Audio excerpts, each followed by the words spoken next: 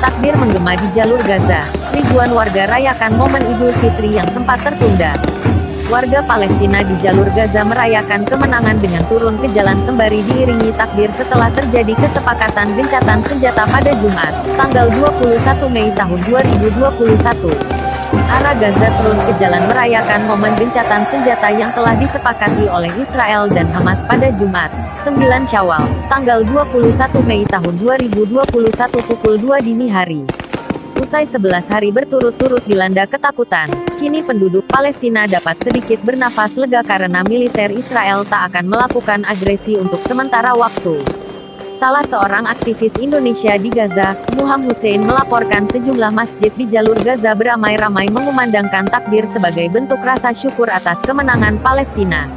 Suara petik lantunan takbir, Allahu Akbar, menggema dini hari bak menjadi pengganti momen Hari Raya Idul Fitri yang sempat terenggut lantaran beberapa serangan yang dikirim oleh Israel ke wilayah Al-Quds.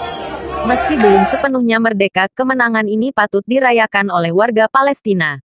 Mereka berbondong-bondong menggandeng anak-anaknya turun ke jalan menuju masjid terdekat. Sesekali terdengar suara petasan yang diluncurkan warga Palestina sebagai penanda hari kemenangan telah tiba.